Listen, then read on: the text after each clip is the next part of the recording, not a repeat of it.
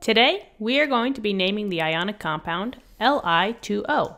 So the first thing that we have to know is that the Li, it, which is lithium, is a metal, right? Because it's over here on the periodic table.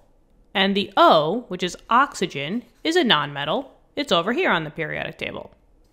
So when we're naming ionic compounds, the metal, the name always stays the same. So Li would just be lithium. Now, for the oxygen, right, which is the O, the nonmetal always gets the IDE ending. So instead of saying lithium oxygen, we have to just turn oxygen into oxide. It needs to have the IDE ending. And just as a quick last check, lithium is not a transition metal. It's not in here, it's over here on the periodic table, so we don't need a Roman numeral. So this is our final answer we have lithium oxide, and that is the name for Li2O. Guys, hopefully this helped. Let me know in the comments. Give this video a thumbs up. Thank you so much for coming to this video. Hopefully it helped, and I'll see you in the next lesson. Bye-bye.